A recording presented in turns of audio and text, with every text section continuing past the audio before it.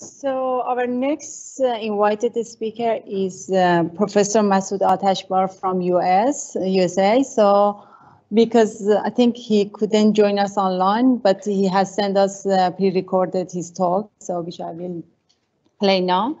So I would like to introduce uh, Professor Massood Atashbar. He is currently Presidential Innovation Professor, Professor of Electrical and Computer Engineering Department, and founding director of uh, the Center for Advanced Smart Sensors and Structures, uh, Western Michigan University.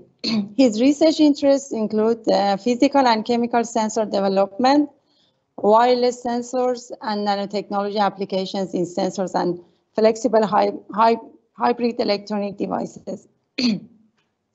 His talk today is uh, on flexible hybrid electronics a rapidly evolving technology for sensing development. Good morning, everyone. I would like to thank conference committee and Professor Shafiei for inviting me to be here. I wish I could have been able to travel to Mel Melbourne to meet with you all and do this talk in person. However, due to the timing conflict and partly COVID issues, I opted an online presentation.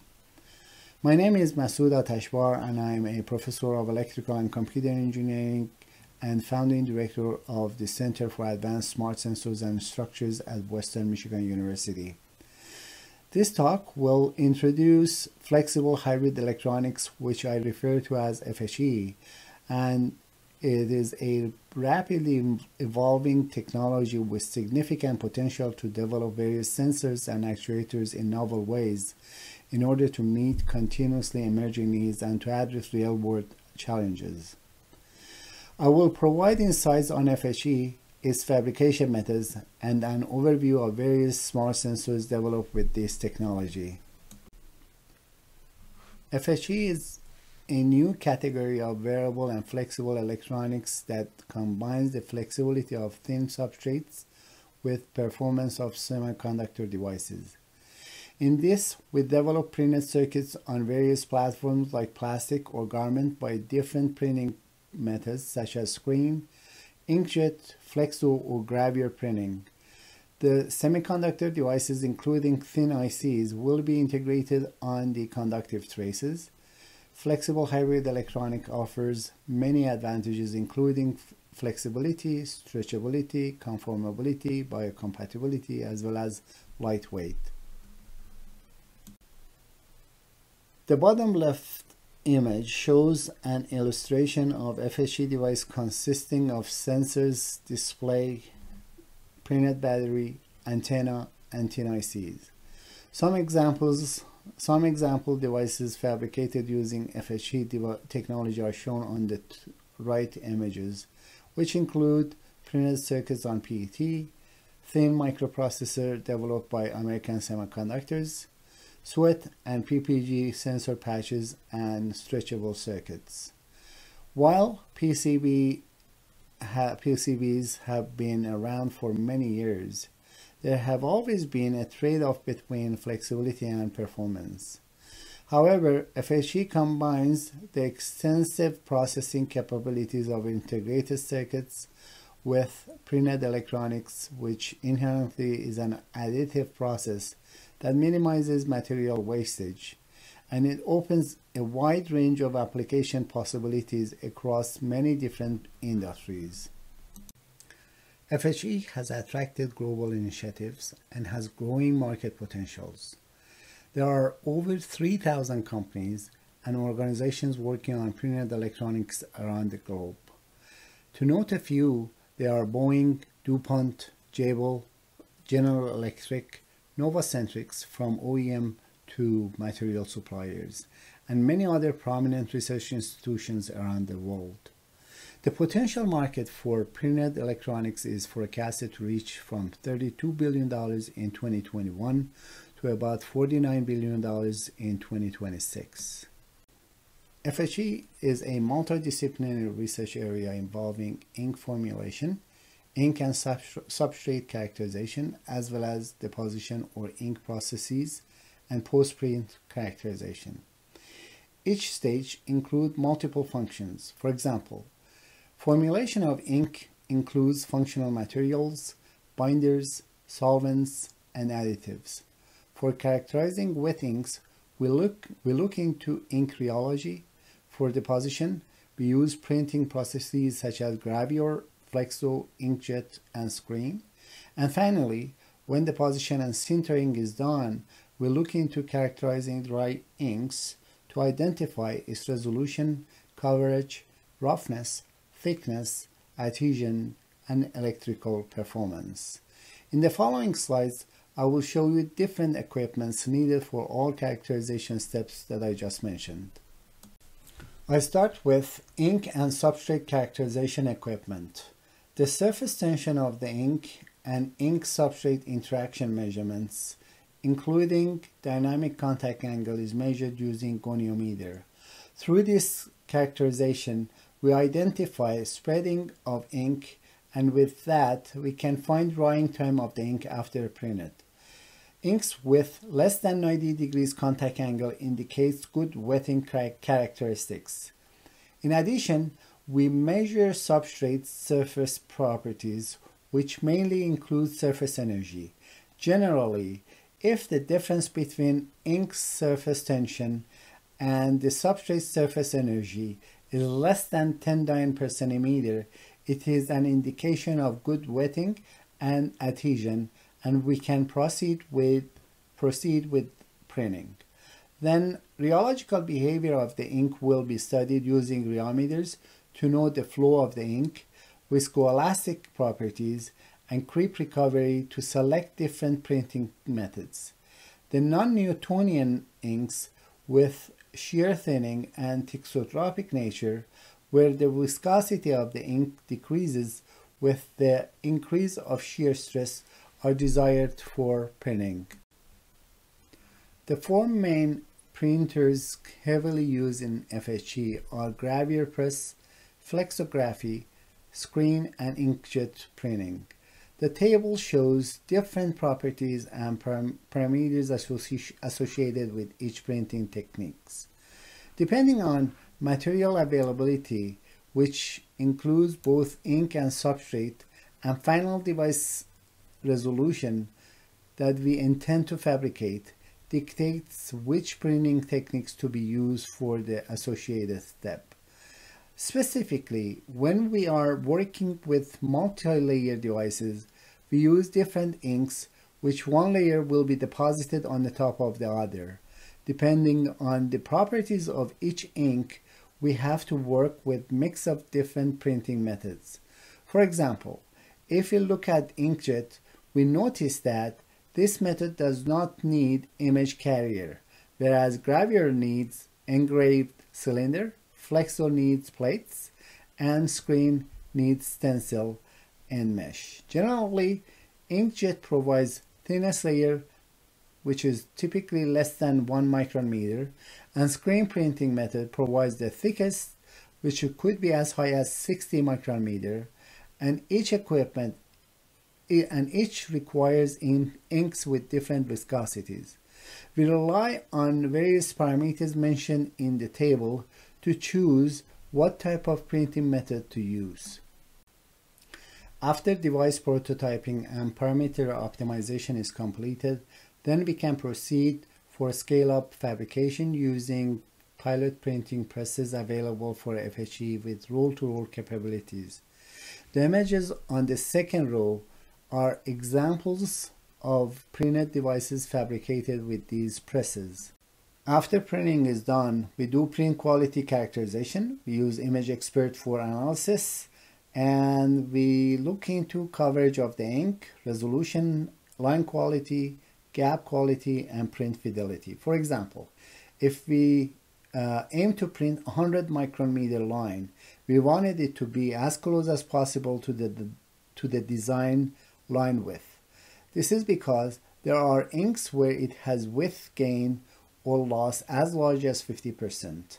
Also, we look into the print quality using SEM, AFM, and light interferometer for its morphological characteristics such as surface roughness, thickness, and particle size. This slide shows other set of equipments that are required for ink making, printing, curing, and characterization. In the following slides, I will discuss some of our recent works that we have completed using FHE. One of our recent work is the development of flexible smart wound dressing. In America alone, over 6.5 million people suffer each year from chronic non-healing wounds and treatment costs related to these injuries add up to $25 billion annually. Chronic non-healing wounds are typically treated either by placing the whole body or part of the body in a hyperbaric chamber for oxygen therapy.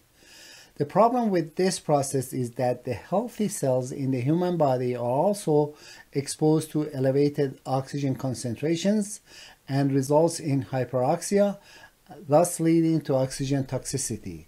Therefore, there are a need for development of customizable smart wound bandage that can sense, generate oxygen, and deliver it to the wound region. Western Michigan University, Purdue University, and Indiana University collaborated to develop a lab-based flexible smart wound dressing with integrated on-demand oxygen delivery and sensing. This dressing is fabricated on a biocompatible hydrophobic parchment paper substrate that incorporates patterned catalytic oxygen generating regions with an array of oxygen sensors. The oxygen is generated by flowing hydrogen peroxide over inkjet printed manganese oxide catalyst on the paper substrate. The hydrogen peroxide is delivered or guided to the printed catalyst region through a network of low profile and flexible microfluidic channels that are bonded to the parchment paper and the flow is controlled by an electronic module. The oxygen sensor made of ruthenium dyes is inkjet printed and the wound facing side of the smart dressing features a biodegradable matrix that is bonded to the parchment paper with a fibrin glue and it permits oxygen exchange between sensor or generator and the wound bed. We performed cytotoxicity in vivo and in vitro studies. Different sizes of wound bandage integrated with oxygen sensor and generators developed through this collaborative effort are shown in this slide. The small size bandages of 1 centimeter diameter was developed to study its healing capabilities on diabetic mice wounds. Oxygen with 80% concentrations was generated and supplied to the wound regions for 1 hour per day for 14 days. From the images, it is evident that the size of the wound significantly decreased over a period of 14 days, indicating a clear healing of the wounds with these smart bandages. Such localized delivery capabilities can be used to customize patches for specific individuals with different wound areas that need oxygen the most. For people suffering from diabetic chronic wounds, Measuring and ensuring the appropriate oxygen level in the blood flow of the foot is critically important for wound healing. We developed a fully functional prototype of a wearable smart shoe insole that contains optical sensors and printed electrodes. The sensors can monitor arterial oxygen saturation level on a diabetic foot using PPG signals. Continuous monitoring of diabetic foot oxygen level can provide critical information on the severity of the ulcers and the wound healing status and the possible need for oxygenation of the wound bed. Blood flow and tissue healing can be enhanced by effective, effectively delivering electrical stimulation and heat therapy to the wound using printed electrodes based on oxygen levels. The developed system can be seamlessly integrated with the Internet of the Things via custom developed mobile apps, which facilitates at-home monitoring by health professionals. Harmful microorganisms at surgical sites and wounds are becoming resistant to antibiotics and antifungal drugs, making the condition of the wound worse and untreatable. This is emerging as a serious global threat to the public health. To address this challenge, we developed a flexible, portable, and conformable microplasma discharge device using laser ablation process.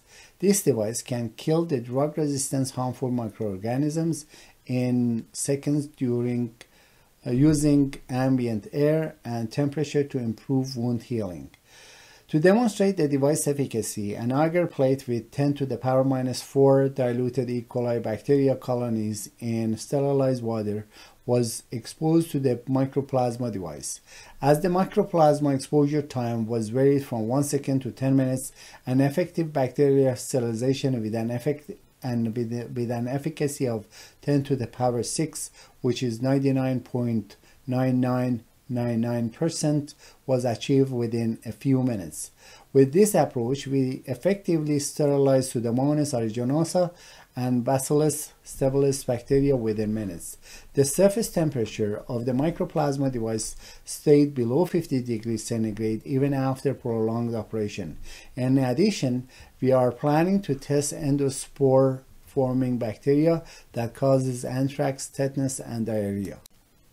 Electrocardiogram monitoring has been a critical parameter in analyzing heart condition which in turn enables monitoring the severity of the diseases. ECG tests are performed in hospitals and healthcare clinics using standard wet silver silver chloride electrodes. The wet electrodes require skin preparation and conductive gel should be applied between the electrode and skin to reduce the skin electrode contact impedance for acquiring accurate ECG signals. However, this could be a long, tedious, and uncomfortable process. In addition, conductive gel dries out quickly and restricts the continuous monitoring of ECG signal. We developed a wearable ECG monitoring device which consists of dry electrodes and a readout electronic module. The dry electrodes was fabricated by depositing multi-wall carbon nanotube and PDMS composites on a stretchable fabric with screen printed silver layer. The readout module with wireless data communication was implemented on a flexible polyamide substrate. The ECG device was snapped onto the fabric. The device demonstrated better performance in terms of signal integrity when compared to the conventional wet silver silver chloride ECG electrodes, specifically if the subject is in the motion. There are many industries with applications that require asset health monitoring on non-planar surfaces. An example of large-scale test articles such as a fighter plane is shown here. In a perfect world, the test executor and data analyst would prefer the ability to put sensors at inflection points joints and high stress curved surfaces to have freedom from cabling and clutters to, for rapid detection of localized parameters. To address this, to address this problem, we developed a FHE-based condition monitoring sensor array system integrated with prenet temperature, sense strain, pressure, and humidity sensors status indicator, battery, and wireless antenna in collaboration with Boeing, American Semiconductor, Comera, and Imprint Energy. The CMSA system removed the constraints on sensor location, size, wiring, and facilitated direct measurement of various parameters. The CMSA device can enable FHE system health monitoring of assets and equipments for use in aerospace, automotive, defense, and logistic tracking fields. This slide depicts the CMSA system integrated with all components. The sensor responds toward varying temperature, humidity conditions, force, as well as tensile and compressive stress loading conditions are shown here. Humidity sensor realized by printing carbon nanotubes and hydroxyethyl cellulose composites and silver electrodes on polyamide substrate. The humidity sensor was subject to varying humidity levels from 20 to 80% and sensor resistance increased as the humidity level increased. And this was due to the p-type semiconducting characteristics of the multi-wall carbon nanotube as well as swelling and shrinking properties of hydroxyethyl cellulose. The sensor showed stable performance with low hysteresis and high repeatability and reproducibility. The temperature sensor was fabricated by screen printing nickel on polyamide substrate. When the temperature was changed from negative to 100 degrees centigrade, an overall resistance change of about 40% was obtained, resulting a temperature coefficient resistance of 0.3% per degree centigrade. Force sensors mimics parallel plate capacitor and consists of flexible electrodes and elastomer layer. The electrodes were made by screen printing silver on polyamide and the elastomer was sandwiched between the electrodes to obtain force sensor. The force sensor can easily detect up to 100 Newton with an overall capacitance change of 10%. The strain sensors were developed by screen printing silver, electro, silver carbon composites on polyamide. When the sensor was attached to an aluminum beam and subjected to various tensile and compressive loads of 1.8 kilogram, a linear gauge factor of 2.39 and 1.47 for tensile and compressive stress was obtained respectively. Another example of asset monitoring system is in military where the condition of ammunition should be monitored. Since ammunition is manufactured in large volumes and stored for a long time, it is prone to degradation due to ambient conditions, including temperature and relative humidity. Such degraded am ammunition is often discarded, recycled, or in some cases results in user fatalities. Therefore, the condition monitoring of ammunition is critical for both the economic and social well-being of military personnel. The, to address this, we developed a flexible and prenet standalone condition monitoring system for continuous monitoring of temperature inside the ammunition container for more than five years. The prototype was fabricated by screen printing the silver con conductive traces on polyamide and integrated with various components including microcontroller. The prototype is robust and can undergo radius curvatures as low as 1 over 32 inches in an abrasive condition and operates in temperatures ranging from negative 20 degrees centigrade to 60 degrees centigrade at any relative humidity levels. Moving on to impact sensing, every year nearly 4 million concussions occur, of which more than 50% are underreported and undiagnosed. These concussions can lead to traumatic brain injuries, which is the leading cause of death and disability among sport players. Minimizing the risk of concussions and other serious brain injuries by providing information that was not detectable previously is important for health and safety of players. So we developed a patented flexible impact sensing technology called Smart, Hel Smart Helmet Impact Monitoring System that addresses the problem of head in injuries.